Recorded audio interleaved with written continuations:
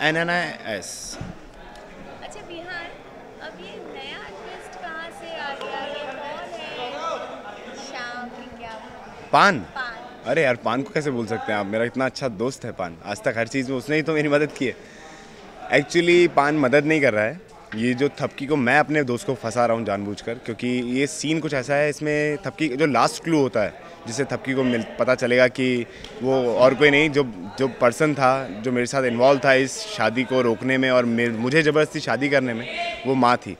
तो थपकी को ये ना पता चले, इसीलिए मैं वो पेंटिंग जला देता हूँ। एक्चुअली ये एक हमारी शादी के एल्बम में से एक फ़ोटो मिलती है।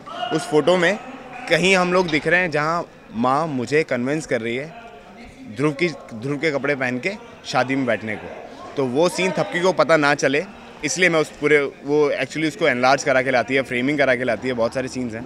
तो लास्ट मोमेंट जब वो देखने वाली होती है, उससे एक सीन पहले मैं जाकर बत्ती लगा देता हूँ। ऑफ़ कोर्स ये तो सबसे पहले बिहान की फ़र्स्ट ड्यूटी है। ये जो किया है उसने, किया है, लेकिन माँ का नाम नहीं पता चलना चाहिए किसी को। लेकिन बीच में पान ने कुछ ऐसी हरकतें कर दी थी।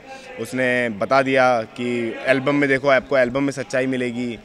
उसने मेरी तारीफ़ करते करते ये भी बोल दिया कि भाई ऐसे है नहीं जैसे वो कर रहे हैं, वो बहुत अच्छे आदमी है, ये किसी और वजह से कर रहे हैं। तो जिससे थपकी का शक बढ़ रहा था। तो बस वो छुपाया है अभी तक तो। लेट्स सी आगे क्या हो रहा है।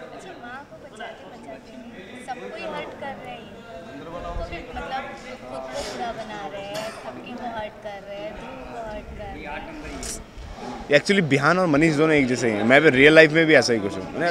मतलब खुद को प्रॉब्लम हो चलेगा लेकिन सामने वाले को कुछ पता नहीं चलना चाहिए। वैसा है।